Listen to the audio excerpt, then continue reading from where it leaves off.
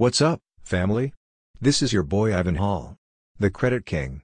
Here's how to get business credit with bad personal credit. Getting business credit with bad personal credit can be challenging, but it is not impossible. Here are a few steps that may help you establish business credit. 1. Form a separate legal entity for your business, such as a corporation or LLC.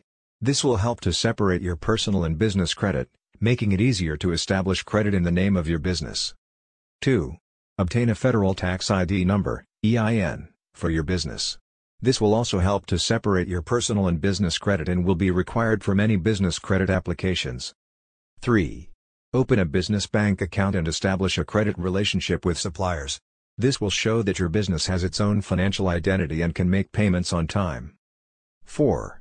Apply for credit from companies that report to business credit reporting agencies, such as Dun & Bradstreet, Experian, and Equifax. This will help to build up your business credit history. 5. Monitor your business credit reports and be sure to dispute any inaccuracies that you find.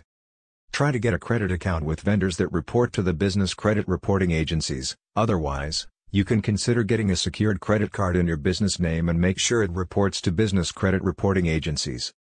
It's worth noting that building a good business credit takes time, effort, and patience.